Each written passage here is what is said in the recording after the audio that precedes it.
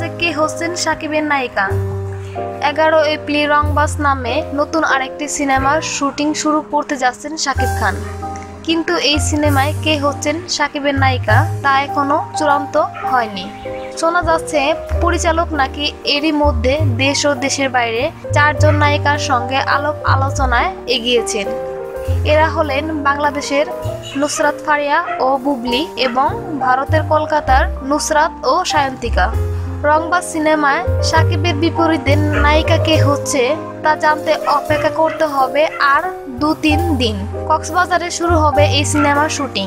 তাই সিনেমার পরিচালক শামীম আহমেদ রনি, কাজকর্ম সবকিছু এগিয়ে নিয়েছি, শুধু নায়িকা এখনও চূড়ান্ত করতে পারেনি। চারজনের সঙ্গে আলাপ করেছি।